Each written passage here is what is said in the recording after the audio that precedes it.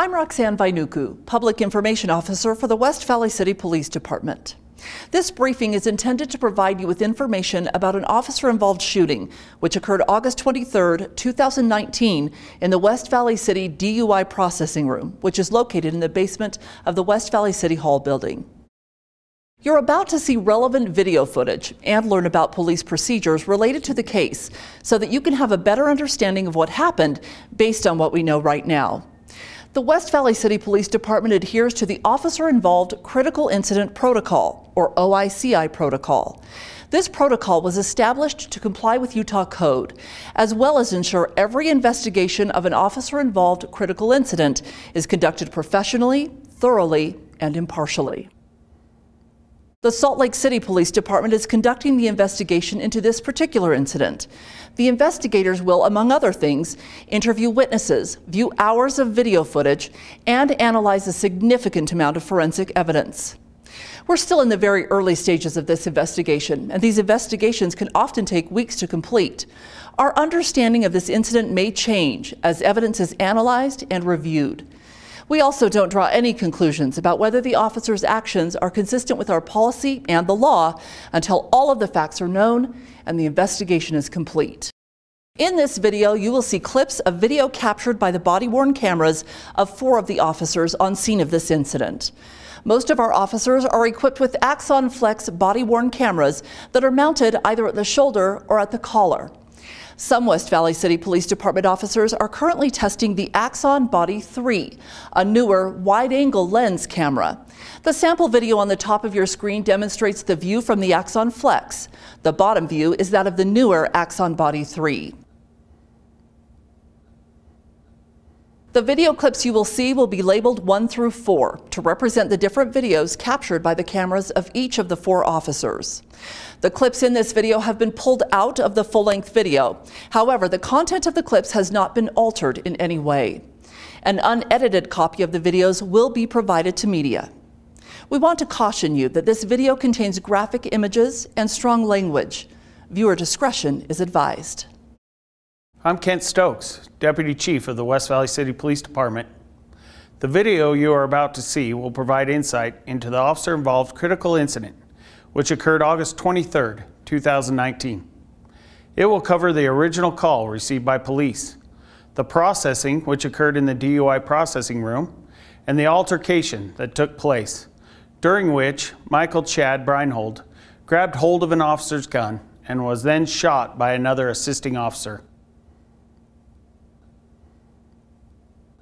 At approximately 7 o'clock p.m. on August 23, 2019, West Valley City Police Department officers responded to a call regarding an intoxicated person at a business in the area of 2900 South Redwood Road. The caller reported that Mr. Breinholt, the boyfriend of a fellow employee, was intoxicated and causing problems at the place of business.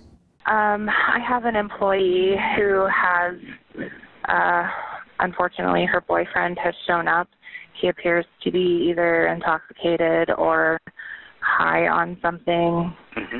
Um, he drove here, which is concerning, and um, now he's still here in the parking lot causing a ruckus, and he's trying to get keys from her. She took the keys away, and he's not okay. He's stumbling, he's slurring. Officers responded and contacted Mr. Breinholt in front of the business. Officers determined that there was probable cause to indicate that Mr. Breinholt was under the influence and that he had been driving a vehicle while in that condition. At approximately 7.40 p.m., Mr. Breinholt was taken into custody and transported to the West Valley City Police Department DUI processing room, which is located in the basement of West Valley City Hall at 3600 South Constitution Boulevard. This room is approximately 6 feet by 7 feet. Inside the room is a desk and cabinets, seating for an officer and a suspect, an intoxilyzer machine for breath alcohol testing, as well as supplies for blood testing. Outside the room is a small corridor with a platform that will support a computer. Mr. Breinholt was seated in this room to be processed for DUI.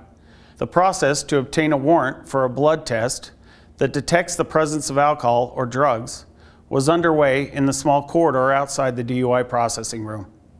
At one point during this waiting period, Mr. Breinholt, although handcuffed, maneuvered himself into a position where he was able to remove his own shoe. Mr. Breinholt told officers that there was a gun in his shoe. Sit down. Sit down. Sit down in my shoe. Sit down. There's a gun in my. Okay, sit down. You will now see portions of the video that include officers taking the shoe from Mr. Breinholt, the struggle that ensued, and Mr. Breinholt bringing his hands around to the left side at the front of his body. Then, with his left hand, grabbing hold of the officer's gun.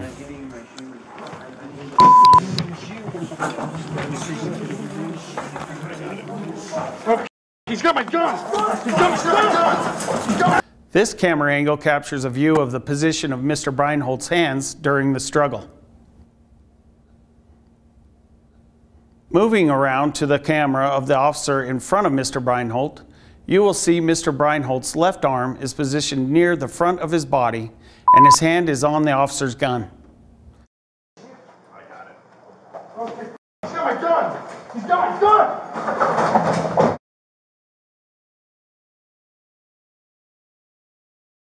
At this point, another officer has entered the room to assist.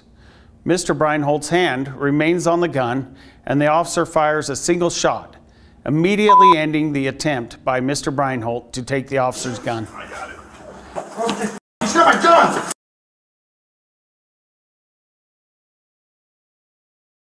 He's got my gun! You're about to die, my friend! Let go! The entire incident, beginning with the officer's attempt to take the shoe from Mr. Breinholt until the shot is fired, is approximately six seconds. We will now show the view from all four cameras uninterrupted.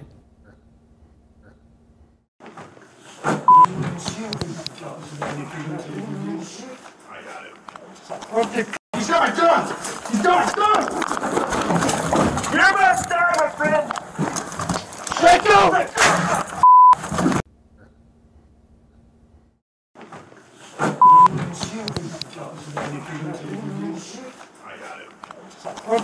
He's got my gun!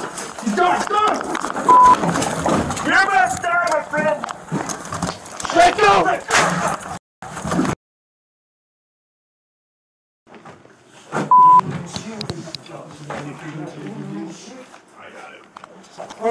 He's got my gun! He's got my gun! You're about to die, my friend! Let go!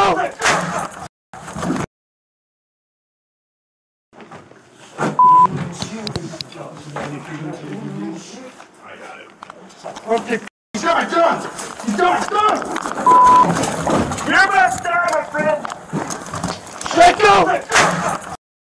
And now, all four cameras playing in sync. I'm giving you my shoe.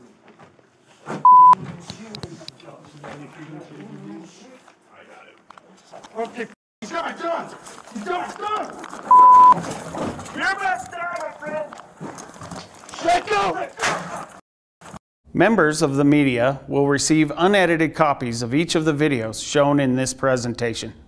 Upon completion of the investigation by the Salt Lake City Police Department, the Salt Lake County District Attorney's Office, whose investigators also responded to the scene, will review the investigation as well as evidence collected and witness statements to determine if the force used by the officer violated any criminal laws. Additionally, the completed investigation will be reviewed by the West Valley City Police Department, as well as by the Professional Standards Review Board, an independent board which is comprised of West Valley City citizens, in order to determine whether the use of deadly force complied with the West Valley City Police Department's policies and procedures. This has been a critical incident briefing by the West Valley City Police Department. For more information on our policies and the officer involved critical incident protocol, please visit our website, wvcpd.com.